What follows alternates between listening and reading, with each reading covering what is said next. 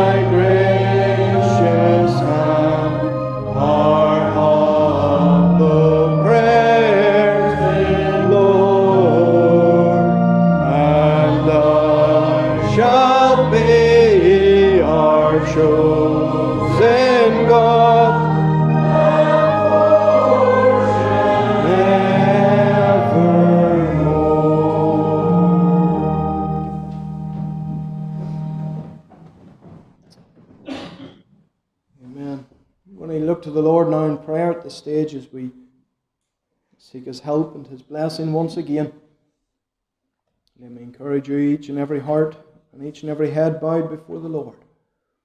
Let's seek His presence. Father in heaven, we do gather before Thee even at this time. And it is our earnest prayer that above all this day that Thy name will be hallowed, that Thy name, O God, will be glorified. We bow before the great God of heaven and of earth. We do thank and praise Thee for the new and living way in which we can access the throne room of heaven. We do not come with a lamb or with a bullock to present it to a priest, to make an offering in our behalf. We thank and praise Thee for the great high priest who has made that one time sacrifice for our sin, who has entered into the Holy of Holies on our behalf. We thank Thee for His seating at Thy right hand. We do rejoice in the intercession which He makes for us. We thank Thee that we can approach the throne of grace. We can cry unto Thee, Abba, Father. We can talk with Thee even as friend unto friend. We thank and praise Thee for our standing in Christ Jesus. We do rejoice in the declaration of our righteousness even before thee. We thank and praise thee, O God, that that slate has been wiped clean and we've been declared righteous in thy sight. We thank thee for our righteousness. We thank thee that the Lord Jesus Christ is the God man himself. He is the one who has bridged that gap between heaven and earth. He is the one, O God, who even has made that peace and made that, Lord, fellowship once again with Thee possible. We thank Thee for His death. And even as we gather on the first day of the week, we rejoice in His resurrection. We have so much to thank and to praise Thee for. We have so much to give Thee reverence and humble praise and adoration for. O God, we do pray that Thou wilt empty us all of self and of sin. And fill us with Thy Spirit this day as we have gathered to Thy house. Lord, Thou knowest the needs of every heart. Thou knowest the needs of every individual, every family. Thou knowest the burdens that have been carried even this day. Lord, worries and concerns for loved ones. Lord, worries and concerns for family members. And Lord, we just pray that each one will be cast at the feet of Christ. The great burden bearer himself will lift us up and will encourage us and will strengthen us and give us that peace of heart. O Lord, remember each one in these days for good, we pray thee. Remember even the work of this church. We thank thee, or we think of what has already been accomplished this morning, and we do thank thee uh, for the Sabbath school and for each child and young person that was gathered out. We thank thee for that help that was given to thy servants once again. And Lord, that that word that has been sown, that it will fall upon the good ground, that it will bring forth much fruit. Lord, bless, we pray thee, every aspect of this work. We do think of the online children's work. We think of the youth work. We think, O oh God, of the services each Sabbath day. We think of the midweek prayer time. We think, O oh God, of our session, of our committee. Lord, of each and every one that is involved in the work of this church. We pray that thy hand of blessing will be upon us for good. We pray that in the days that lie ahead, that souls will be saved, that backsliders will be restored. Oh God, we think of our land in these days. We think of the great and the many needs that there are. We think, oh God, of the political needs. We think of the social needs, the mental, the physical needs. Oh God, we think above all of the spiritual need. And oh Father, that Thou wilt come down in mighty power. Thou wilt work in our land and work in the hearts. That Thou wilt draw many souls unto Thee, we pray Thee.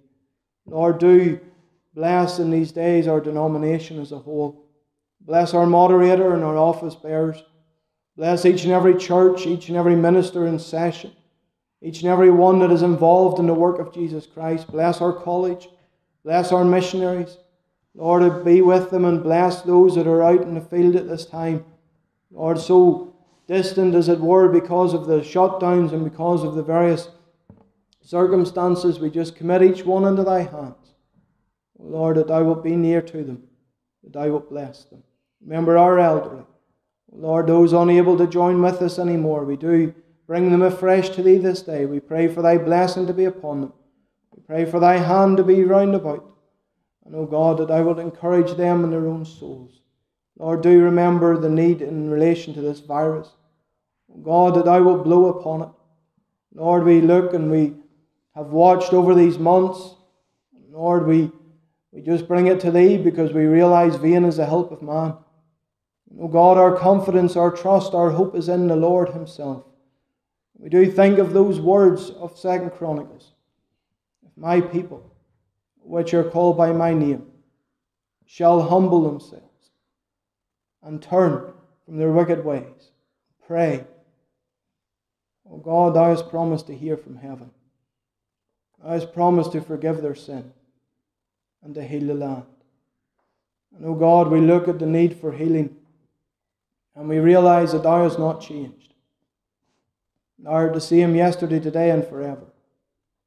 And, O God, thy promises are yea and amen in Christ Jesus. And so, if the power of God is still there, then surely the people of God have not turned.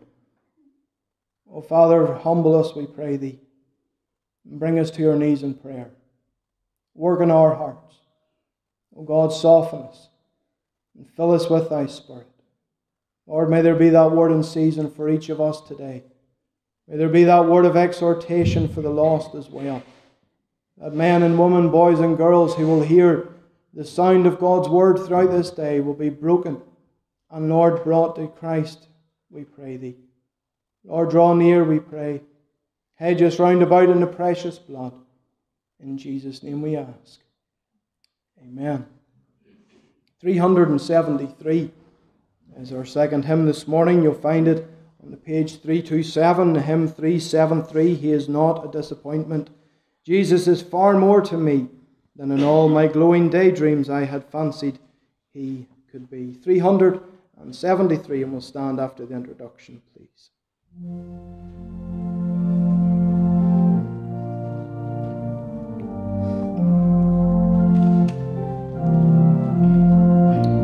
stand as we sing. He is not a disappointment.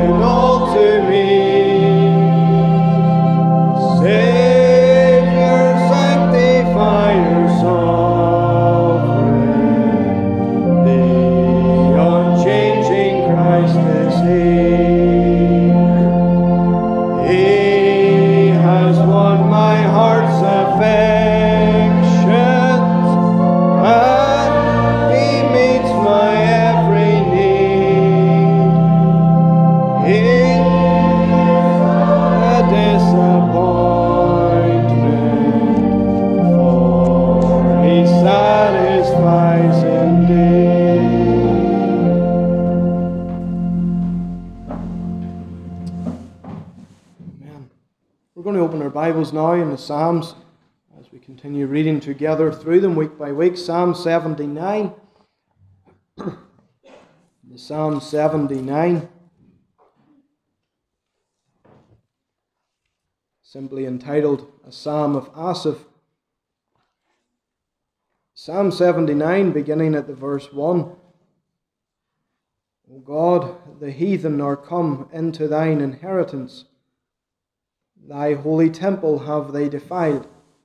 They have laid Jerusalem on heaps. The dead bodies of thy servants have they given to be meat unto the fowls of the heaven, and the flesh of thy saints unto the beasts of the earth. Their blood have they shed like water round about Jerusalem, and there is none to bury them. We are become a reproach to our neighbours a scorn and derision to them that are round about us.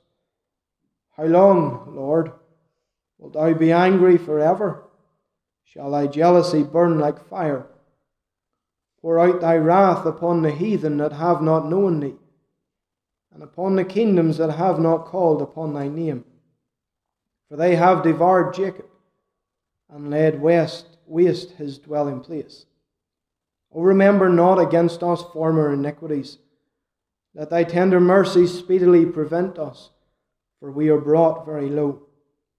Help us, O God of our salvation, for the glory of thy name, and deliver us and purge away our sins for thy name's sake. Wherefore should the heathen say, Where is their God? Let him be known among the heathen in our sight, by the revenging of the blood of thy servants which is shed. Let the sign of the prisoner come before thee. According to the greatness of thy power, preserve thou those that are appointed to die.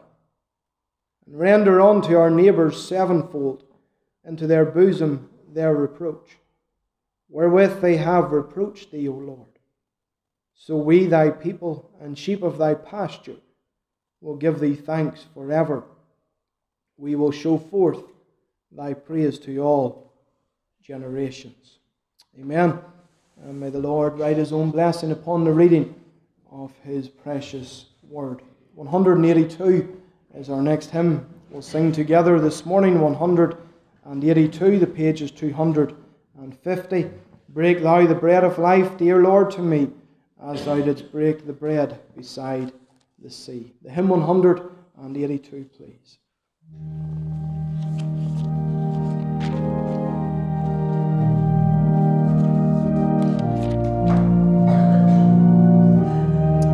Let's stand again as we sing. Break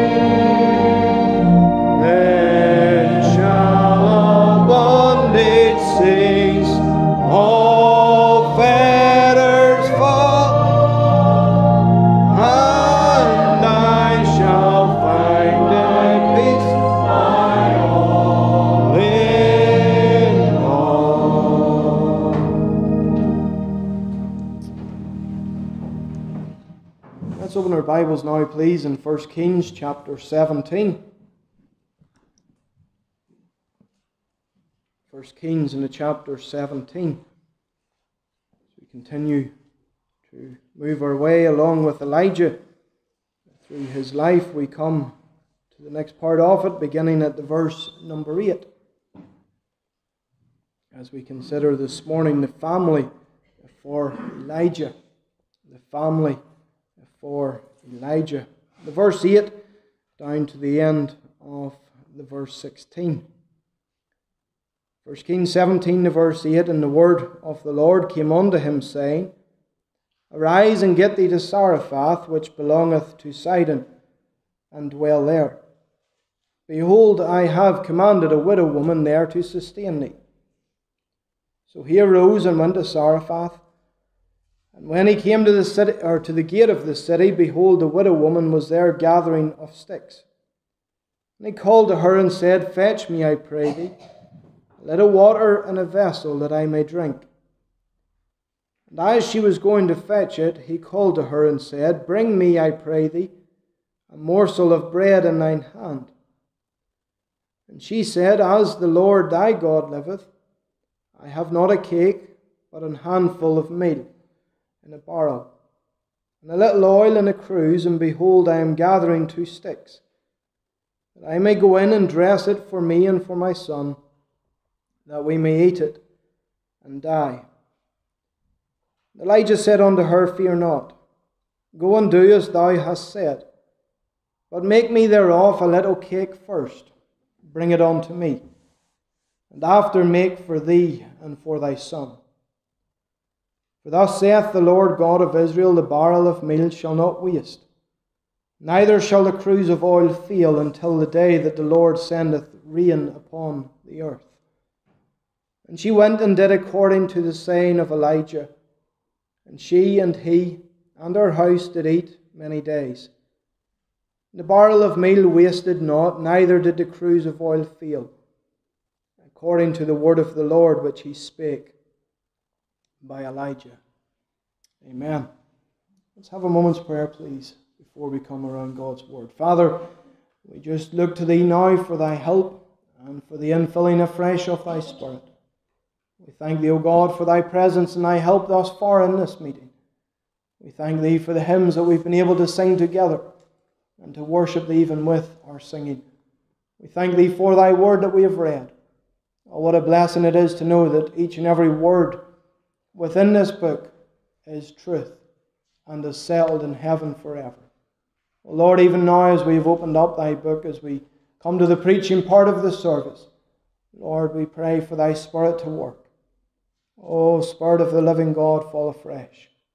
Break us, melt us, and fill us.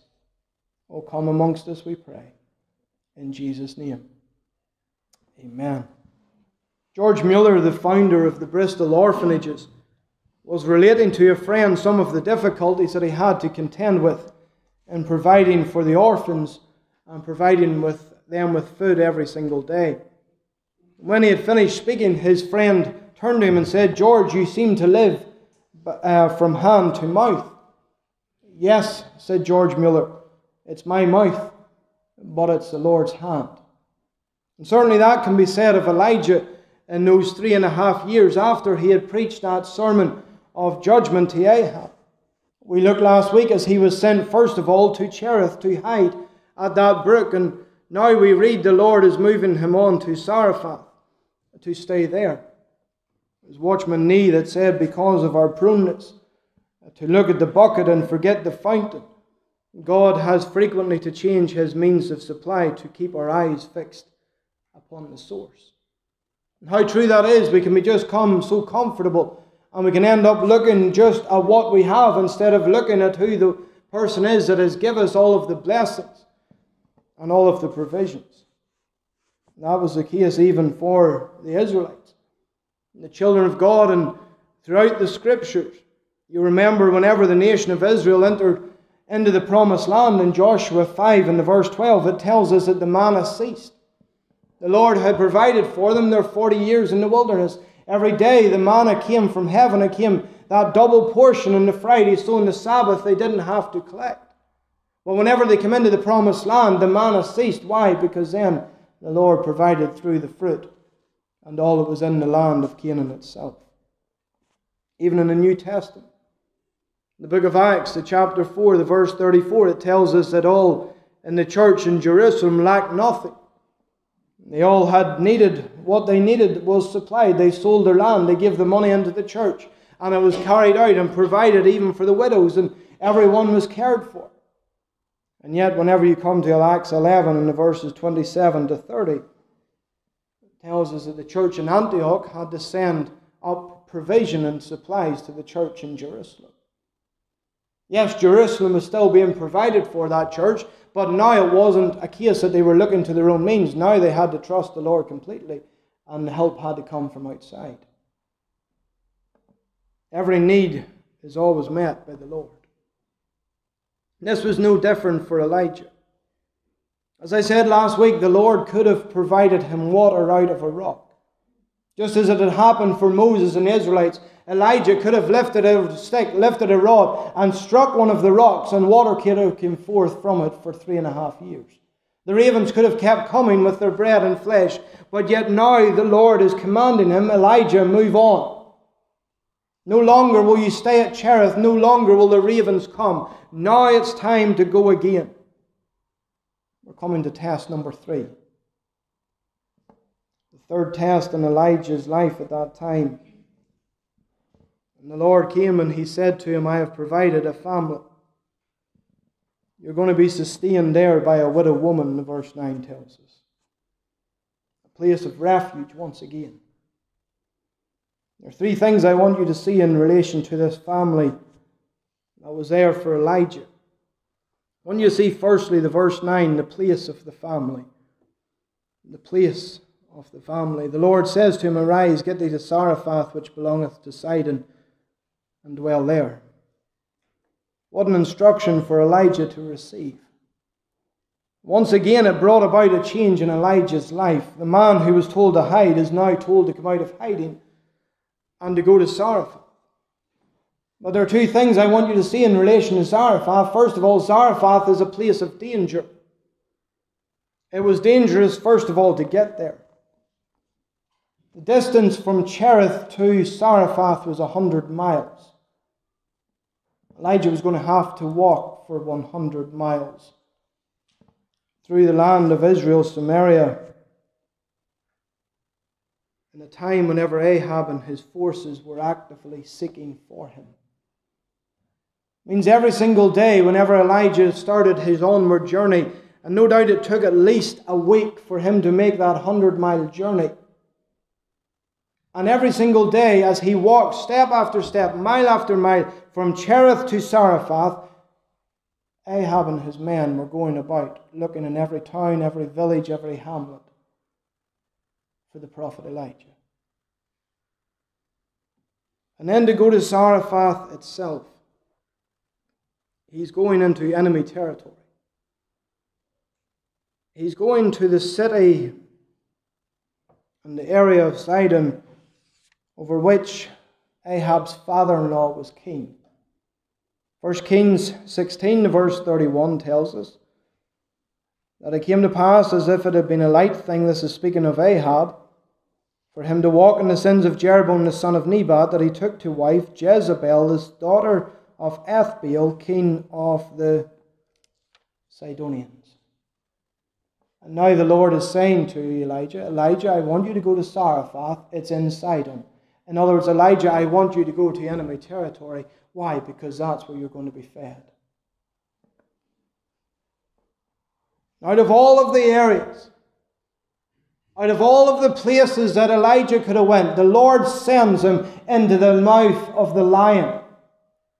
He could have sent him, go up into the mountains of Gilead. The brave men will take care of you. Your own people will watch over you. No or go to the other places, those that absolutely hate Ahab. Remember, David did that. He went to the Philistines. He had down with the Philistines.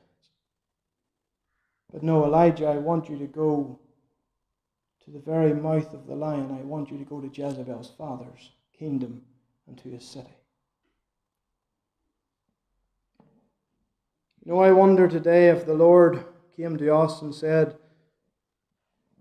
want you to move to Iran or Pakistan. I want you to move to North Korea. Wonder how many would be getting the suitcases down. If we were being sent to a place where we know that the Christian is actively harmed and persecuted,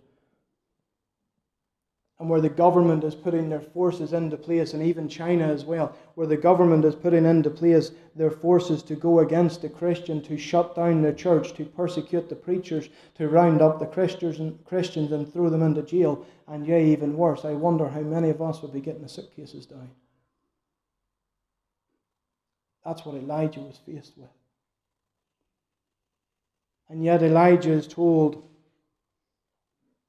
Go to Zarephath I've prepared number one, a woman there. And number two, that's where you're going to get your food.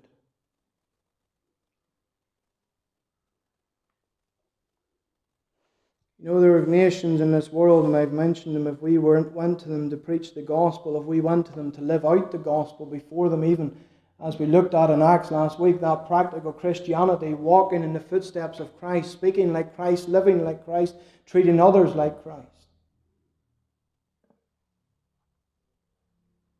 Without any fear, those nations could turn and torture and kill us for it. And yet Elijah went to the kingdom of Ethbaal. Because remember, Ethbaal was just as much against Elijah as Jezebel was.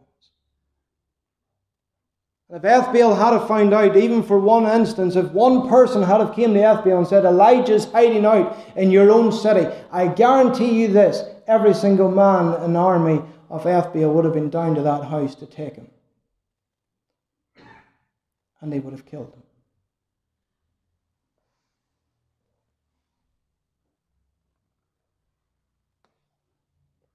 All around him, whenever he went to that lady's house, were forces that were desirous of death and evil.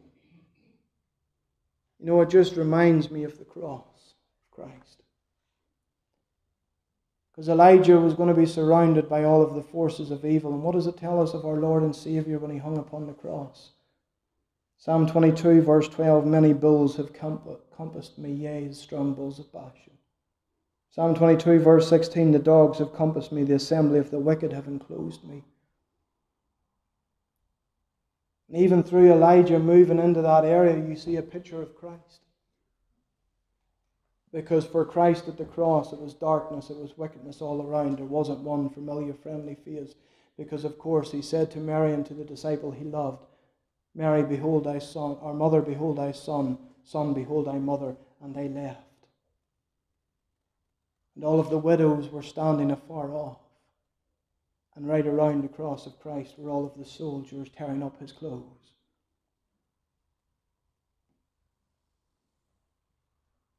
And yet, our Lord and Saviour, with the foreknowledge of what was coming, he still set his face as a flint. Now, Elijah didn't have the foreknowledge of, of God, did he? He had no idea what would happen in Zarephath but yet he still had faith in God. You know, not one of us knows what holds, what the future holds for us. The Lord takes us step by step, doesn't he? And he simply asks us to walk by faith, not by sight. And Elijah there, he's being given that direction. Elijah, I've kept you at Cherith. You've been fed. The ravens have come every single day. Now, Elijah, it's time to move on. Are you willing to go to Zarephath? No, Elijah was, or Zarephath was a place of danger, but I want you to see also as a place of dearth. Because, like Israel, Sidon was also affected by this drought and by this famine. We read that even as the woman is coming out, there's no rain, there's no dew is being experienced in that country. The little lady, she's going out, she's collecting two sticks. Why? Because she has nothing left.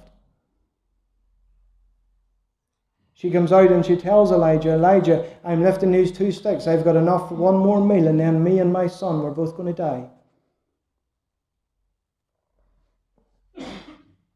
And yet, that's exactly where Elijah was sent.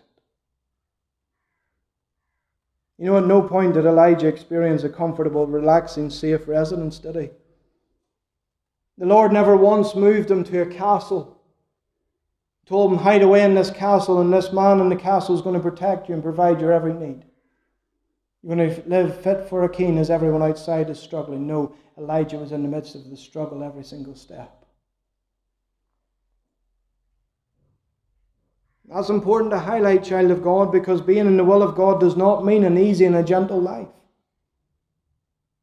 Just because we're following and obeying the will of God does not mean that suddenly everything's a bed of roses. But it's the best life.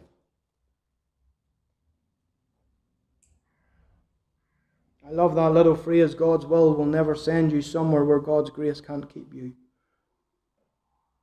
How true that is. God's will will never send you to a place where God's grace can't keep you. Even if that means danger and hardship, the Lord's going to be with you. 2 Corinthians 12 and 9 My grace is sufficient for thee, my strength is made perfect in weakness. The place for Elijah. But then, secondly, I want you to see the people in the family as well, the verse 9. The people in the family. 1 Kings 17, the verse 9, it says, Arise, get thee to Zarephath, which belongeth to Zidon, and dwell there. Behold, I have commanded a widow woman there to sustain thee. You know, what's wonderful is always God's leading so clear. Whenever the Lord leads you in your life, He never leaves you to question it and to doubt it. Whenever the Lord is clearly leading, He clearly gives you that perfect direction, that perfect instruction. He comes to Elijah, He says, Elijah, arise, you're going to Zarephath, number one. Number two, here's where you're going to stay. You're looking for a widow woman. I've already worked in her heart. She's going to sustain you.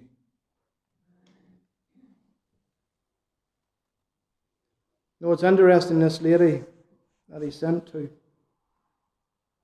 Because as we've just highlighted at the end of verse 9, she's a prepared woman. No, it's wonderful because unbeknown to Elijah as he sat there at, the, at Brook Cherith, the Lord was already working in a lady's heart. As Elijah sat there every morning and every evening drinking as that water as it went down and down until there was but a puddle left, as the ravens came in every day with the bread and flesh, yet Elijah sitting there waiting patiently and looking to the Lord, and unbeknown to him, there's a woman's heart who's being touched. There's a woman's heart who's being changed. And so Elijah comes to Zarephath. As he comes to that city, he has no idea who this woman is. I would suspect that Elijah had never been in the city of Zarephath before in his life. He would have no reason to go there before.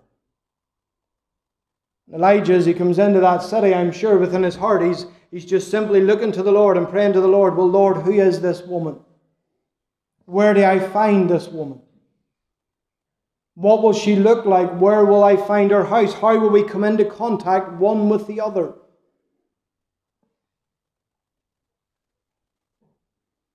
So, as it were, he puts out a fleece. He asks the first woman he sees for a drink. Any other woman would have said no because the Jews and the Samaritans have no dealings one with the other. Jewish people and Gentile people never mix. That's highlighted for us in John 4 and 9 whenever Christ comes to the well. And so the fact that Elijah asked the question, Will you go and get me a drink? The fact that she's going to get it shows to Elijah this is the woman. Because any other woman would have went, No, I'm having nothing to do with you. No, it reminds us of Abraham's servant in Genesis 24, doesn't it? Remember, Abraham sends his servant to find a wife for Isaac. In Genesis 24, the verses 12 to 14, it tells us as he comes into that city, the, or the, the servant, he's praying and he says, O Lord God of my master Abraham, Genesis 21 to verse 12 I pray thee, send me good speed this day, and show kindness unto my master Abraham. Behold, I stand here by the well of water. And the daughters of the men of the city come out to draw water. Let it come to pass that the damsel to whom I shall say, Let down thy pitcher, I pray thee that I may drink. And she shall say, Drink, and I will give thy camels drink also. Let the same be, be she that thou hast appointed for thy servant Isaac. He laid out the fleece. Elijah lays out the fleece. Elijah gave that question, not bidding that invitation to her, Would you please go and get me a drink of water? The woman goes. You see, whenever God is guiding us and leading us, whenever we're seeking His perfect will for our lives, He's the one that brings everything together. You know, too often, child of God, we try and force doors open. Too often in our lives, we look to the Lord and we say, Right, Lord, what's your will for us? And the Lord starts to give us that lead in that direction. He shows us where to go. Instead of letting the Lord bring every single aspect, every single little point, even the tiniest sub points, if you want to call them that, and let Him bring them all together, we start and we try and gel them together ourselves, and we try and start and try and force a door open here and shut a door closed there. And yet, whenever it's the Lord bringing it all together, that's the perfection.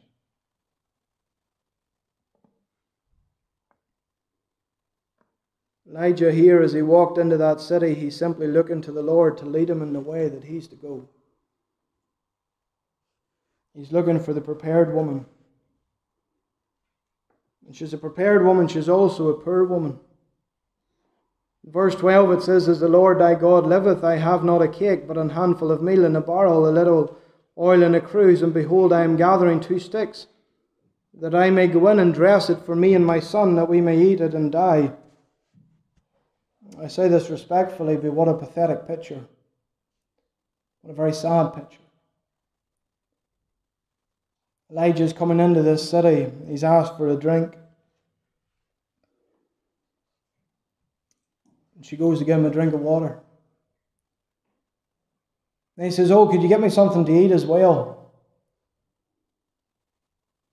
She says, I've enough to make one meal for me and my son. Then we're completely out of food and we're going to die. Before Elijah is standing a woman with no hope, no money, no food. And yet Elijah still believes this is a woman that the Lord has prepared to sustain me. You know, many Christians would have turned round at that point and somebody said, Oh, sorry to bother you, I must have got the wrong one. I'm looking for a woman that's going to be able to feed me for the next couple of years. You've got one meal and then you're out. And yet Elijah says to her, No, no, no. He says, I still believe in the Lord. You know, the human aspect would have looked at that woman. There's a little tiny widow woman. She's simply got two sticks in her hand. She tells him, I've got one bit of meal and one bit of oil. I'm going to make one last meal for me and my son. Then we're going to starve to death. Elijah says, You, you go and get me the food.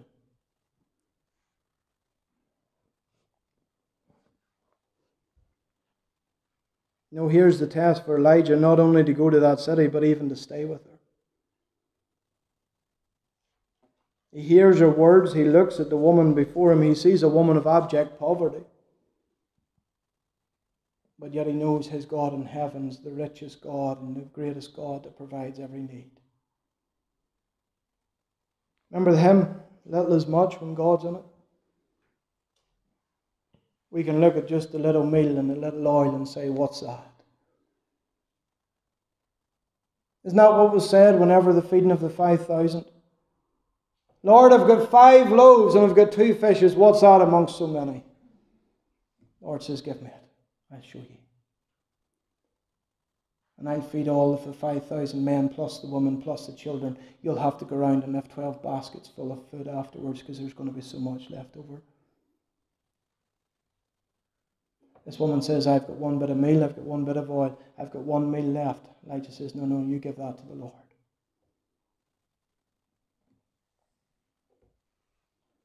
Now, this family had nothing except one thing. They had the promise of God's sustenance. That's all that woman had. She had nothing. She could look in her cupboards or in her house or her neighbours or the shop. She didn't have anything. She only had one thing the promise of God. But here's the thing what more did she need? She was a prepared woman, she was a poor woman. Just to highlight this to you before we move on, she was a pagan woman. You look at the words that she says in the verse 12. She says, As the Lord, look at this next word, thy God liveth. She doesn't speak. Because remember, Elijah said in verse 1, he says, As the Lord God of Israel liveth, he knew he, who he was. This woman saying, As the Lord thy God liveth. In other words, he's not my God, he's your God. And yet the Lord has prepared this woman. Even though she's unsaved, the Lord, she's still in the Lord's hand. He can still turn her whatever way he so desires. And yes, she knows the truth. We've highlighted over the weeks, people were being taught in those days God of Israel, Jehovah's dead. Baal's alive, and yet this woman knows the truth. No, your God's alive. I know he's alive but He's only your God. And yet the Lord takes her, takes her in His hand. He just turns her whatever way He so desires. Now, what He did was Cyrus, man who was used by God to free the Israelites from Babylon, he was a pagan king. And yet the Lord described him in Isaiah 44 28 He's my shepherd, who shall perform all of my pleasure. The Lord spoke of him in Isaiah 45 in the verse 1 His anointed to Cyrus, whose right hand I have hidden, are holding to subdue nations. See, we look at the emperors, we look at the kings, the presidents, the prime ministers ungodly men and women right across the world ruling nations and changing laws. Each one of them the Lord can take and the Lord can turn. Why we're to pray for them. That's why the book of Romans commands us to pray for those in authority. That they would be given the wisdom and yea, they would be turned, and their hearts would be turned. No, it's wonderful. It's wonderful whenever we consider who our God is. There is nothing and there is no one that is too big or too strong for the Lord. And you look at the size of the nations in our world today, you look at the size and the power that they have. You look at America, you look at China, you look at Russia, you look at India, Iran, massive nations, huge armies, with all of their arsenal of weaponry, and all of the might, the power, the influence that they have upon other nations. And yet, those dictators, presidents, whatever the case may be in each individual country, the Lord just says, They're in my hand. And I can turn.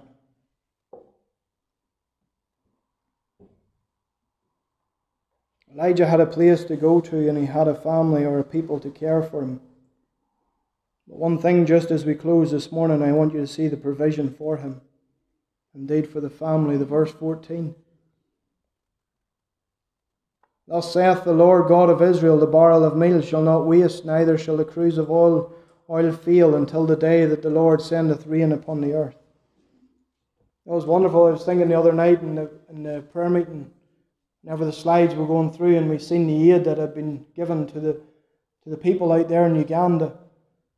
Our brother Aiken mentioned about Heath, it looked like a petrol can. It just reminded me there's the meal and there's the oil. That's all they had. They were each person was given that bag with the meal and with the oil in it. But here was the thing: the people in Uganda would have used it, and then they would have needed more. This woman had enough for one meal, and yet, what was the thing that was said to her? It's going to last you until the rain comes. But do you see what happened first before that promise was given? She told Elijah, she says, I have enough for one meal. One meal for two people.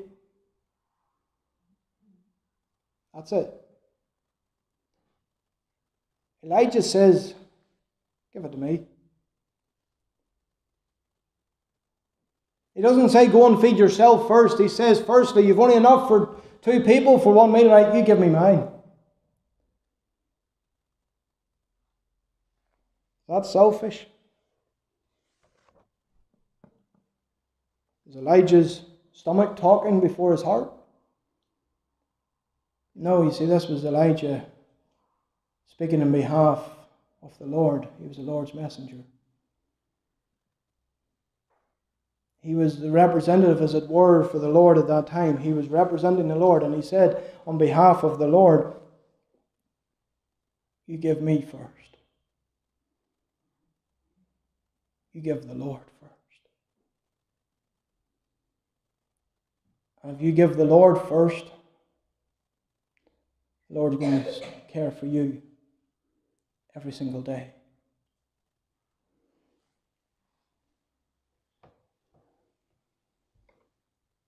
Remember the widow, in Luke 21? Christ is there in the temple with his disciples. He's watching them all coming in and throwing their offerings into the plate and into the treasury. And the Pharisees, they come in with their pump and their ceremony, and they're basically emptying their bucket loads in. And the wee woman comes in just with two mites. She drops them both in. And the Lord note, took note of her. The Lord commended her. And the Lord blessed her. Did he once turn around and say, Would you look at how much the Pharisees are? Aren't they great people? They've give their bucketfuls in. No, he says, Look at that wee woman. She's give all she could. Her two mites are worth more than all of the thousands or shekels and all that these men are throwing in. Why? She's given all. She's given all. Here the Lord is saying through Elijah to this woman, You give everything to me. And I'll give you everything you need. Child of God, that's all the Lord wants of us. And unsaved, that's all the Lord wants of you. Number one, He wants your heart. He says in Proverbs, My son, give me your heart. You give the Lord your heart, you're giving him your all. Because the heart rules the head and rules the body. Child of God, he then says to us, give him his, give us, or give uh, him our talents. Give him our strengths. Give him our tithes. Give him our all. Seek first the kingdom of God and his righteousness. Trust the Lord with all your heart and lean not on his own understanding. In all thy ways acknowledge him. And then he goes on to say, he wants us to obey His word and to trust it. Whenever your situation, child of God, individually in our situation collectively, both as a church in this area and indeed the nation, when we give our all to the Lord, He'll never fail us. 1 Thessalonians 5, verse 24, it simply says, Faithful is he that calleth you, he also will do it. He's faithful.